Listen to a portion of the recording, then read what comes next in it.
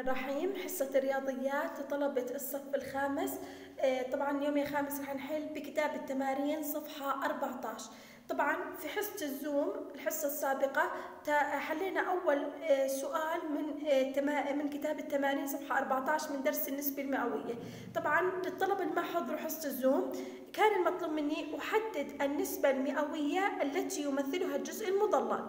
حكينا الجزء المضلل أول شيء بدنا نعد المربعات المضللة حكينا واحد اثنين ثلاثة أربعة. وهذان المثلثان مع بعض بعطوني مربع فبصيروا خمسة. وهذان المربعان مع بعض بعطوني مربع بصيروا ستة. طبعا أنا هون ليش دمجت المثلثات مع بعض؟ لأنه زي ما حكيت لكم في حصة الزوم أنا في عندي بالأشكال مربع فلازم أعد مربعات.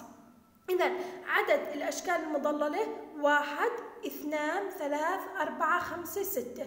الأشكال الكلية عشرة. لكتابة النسبة المئوية يجب أن يكون تالي النسبة يساوي مية. فضربنا البسط والمقام في العدد عشرة. آه، ستة ضرب عشرة ستين. عشرة ضرب عشرة مية. بما أنه المية موجودة إذا بننزل البسط وبنحط عنده إشارة النسبة المئوية فيصبح الناتج ستون بالمئة.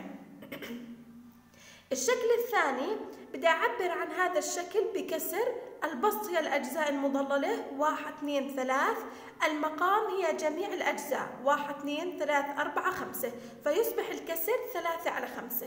لكتابة هذا الكسر على صورة نسبة مئوية يجب أن يكون التالي النسبة مية يعني المقام يجب أن يكون مية عشان هيك ضربنا الخمسة في العدد عشرين. فزي ما بضرب المقام نضرب البسط. فضربنا البسط والمقام أو مقدم النسبة وتالي النسبة بالعدد عشرين.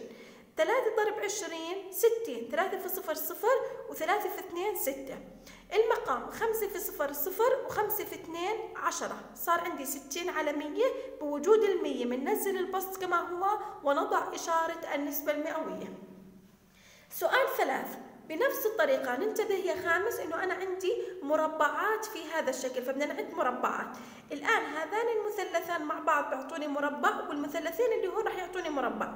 فبنحكي واحد اثنان ثلاثة أربعة خمسة ستة سبعة ثمانية. إذا عدد المربعات ثمانية. العدد الكلي للمربعات عشرة. نضرب البسط والمقام في العدد عشرة فيصبح الناتج ثمانية ضرب عشرة ثمانين وعشرة ضرب عشرة مية. بما أنه المية موجودة بنزل الثمانين كما هي وبنحط عندها إشارة النسبة المئوية فتصبح ثمانون بالمئة. الشكل الرابع. البسط هي الأجزاء المضللة. ثلاثة. المقام هي جميع الأجزاء أربعة. يجب أن يكون المقام أو تالي النسبة يساوي 100 فالأربعة بنضربها في 25 نضرب البسط والمقام في العدد 25 ثلاثة في خمسة خمسة عشر. خمسة وواحد باليد. ثلاثة في اثنين ستة وواحد سبعة. أربعة ضرب خمسة وعشرين مية. لاحظ أربعة في خمسة وعشرين صفر واثنين باليد أربعة في اثنين ثمانية واثنين باليد بصيروا عشرة.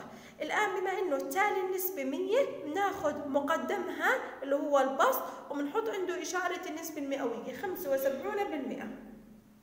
الآن الجزء الثاني من الأسئلة يبين الجدول المجاور الرياضة المفضلة لمئة طالب. لاحظ رقم المئة موجود. النسبة المئوية للطلبة الذين يفضلون كرة السلة؟ هاي كرة السلة، بما إنه عدد الطلاب 100 بناخذ الرقم الموجود عند كرة السلة اللي هو 18 وبنحط عنده إشارة النسبة المئوية 18%. النسبة المئوية للطلبة الذين يفضلون رياضة السباحة، السباحة 22 فبنكتب 22 بالمئة. السؤال السابع عائلة تتكون من ثلاث بنات وسبع أولاد. ما النسبة المئوية للأولاد؟ عدد الأولاد سبعة. عدد أفراد العائلة كامل عشرة. حكينا راح نضرب تالي النسبة في العدد عشرة عشان يصير مية. سبعة ضرب عشرة سبعين. عشرة ضرب عشرة مية. ويساوي سبعون بالمئة. ننتقل الآن يا خامس إلى كتاب الطالب صفحة 38 عشان نحل اختبار الوحدة. طبعا راح نحل الأسئلة من واحد إلى سبعة اللي هي ضع دائرة. الإجابة الصحيحة في كل مما يأتي. القيمة المنزلية للرقم 6 في العدد. 22 و 689 من ألف. هي نلاحظ أنه الستة موجودة في منطقة الأجزاء. أول جزء يقع على يمين الفاصل عشرية هو جزء من عشرة. وين الجزء من عشرة؟ اللي هي الفرع دال اللي هي ستة على عشرة تكتب بهذا الشكل ستة من عشرة. طبعا منطقة الأجزاء يا خامس لازم يكون فيها فاصل عشرية فألف وباء مستحيل يكون الجواب. فبكون الجواب يا جيم يا دال. جيم ستة من ألف دال ستة من عشرة. هيك بنقرأهم. هو بدنا إياه موجود في جزء العشرة فستة من عشرة. اثنين الصيغة القياسية. طبعا عشان أكتب الصيغة القياسية بدي أبدأ بالأعداد الصحيحة. اللي ما فيها فاصلة عشرية؟ نلاحظ إنه الاثنين في منزلة المئات الثلاثة في منزلة العشرات الخمسة في منزلة الأحاد فيصبح العدد 235 أنهينا الأعداد الصحيحة هلا بنروح على منطقة الأجزاء. كيف عرفنا هاي منطقة الأجزاء؟ لأنه فيها فاصلة عشرية. بننزل فاصلة عشرية. الاثنان تقع على يمين فاصلة عشرية مباشرة إذا هي جزء من عشرة. التسعة جزء من مئة هي تسعة من مئة هيك بقرأها. الخمسة جزء من ألف فيصبح الناتج مئتان وخمسة وثلاثون ومئتان وخمسة وتسعون من ألف. الإجابة الصحيحة هي آه، باء نلاحظ أن الإجابة الصحيحة هي باء السؤال الثالث إحدى الآتية تمثل العدد الكسري و125 من ألف على صورة كسر عادي. نلاحظ في هذا المثال. ننتبه يا خامس. عندي طبعا بدي أكتبه هو الكسر 125 من ألف. علشان أكتبه على صورة كسر عادي نكتبه 125 هذا البسط على ألف. الآن ما في عندي هاي الإجابة في الخيارات. إذا تم كتابة الكسر بأبسط صورة. الآن بما أنه البسط والمقام في العدد خمسة إذا راح نقسم البسط والمقام على العدد خمسة. طبعا لأنه الخمس إذا كان العدد أحاد خمسة أو أحاد صفر فإنه يقبل القسمة على خمسة. الآن 125 تقسيم خمسة. رح ناخذ هيك على جنب ونقسم 125 على خمسة. العدد المضروب في خمسة بيعطينا 12 أو أقل اللي هو 2 2 في 5 10 نطرح. 12 ناقص 10 2 بننزل الخمسة تساعدها. 25 الرقم اللي بضربه في 5 بيعطيني 25 و5 5 في 5 25 إذا يصبح الناتج 25 على. الآن إذا كان المقام 1000 ناخذ العشرة. 10 تقسيم 5 2 بضل عندي هدول الصفرين ما استخدمناهم بننزلهم بما إنه في عندي خمسة وفي عندي صفر إذا بقدر أقسم البسط والمقام على عدد خمسة. يساوي 25 تقسيم 5 5 2 تقسيم 5 لا يجوز. ناخذ ال 20 20 تقسيم 5 4 والصفر بينزل اللي ما استخدمته.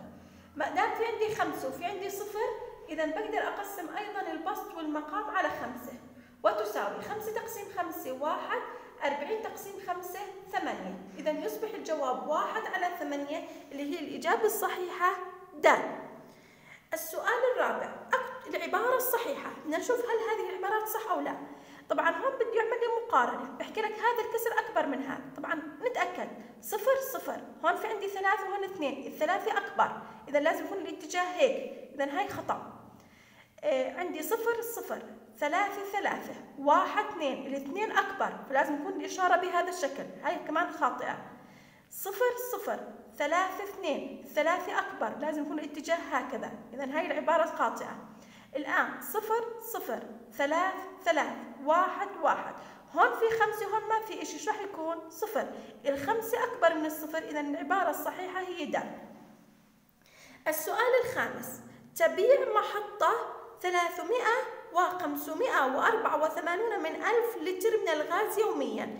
كم لترا تبيع يوميا باستعمال التقريب إلى أقرب جزء من 100 أول شيء بنحط خط تحت على الجزء من 100 الأربعة ما بتعطي الثمانية فبتضلها الثمانية نفس ما هي والأرقام الموجودة على يسارها بتنزل كما هي. فيصبح الناتج 358 من من 100 إذا 358 الإجابة الصحيحة ب. السؤال رقم ستة. تقدير مجموع العددين. بدنا نجمعهم باستخدام أقرب جزء من عشرة. هاي بنحط خط تحت الجزء من عشرة. الصفر ما بيعطي الثلاث تبقى الثلاثة كما هي وبننزل بننزل الأرقام الموجودة على اليسار. مجموع يعني زائد. السبعة راح تعطي للخمسة فالخمسة بتصير ستة وبننزل الأرقام الموجودة على اليسار اللي هي الصفر الفاصل عشرية والثلاث الآن تجمعهم ثلاثة زائد ستة تسعة. فاصل عشرية بتنزل وواحد زائد ثلاث أربعة. يصبح الناتج أربعة وتسعة من عشرة. الإجابة الصحيحة هي جيم آخر سؤال زار مدينة البتراء وفد سياحي مكون من 100 شخص عدد الأشخاص 100 كان عدد الذكور 80 بدنا عدد الإناث النسبة المئوية لعدد الإناث. طبعا عشان أعرف عدد الإناث بدي أحكي 100 ناقص 80 100 ناقص 80 20 إذا عدد الإناث 20 فبنحكي 20 بالمئة. الإجابة الصحيحة هي ب يعطيكم العافية. يا خامس.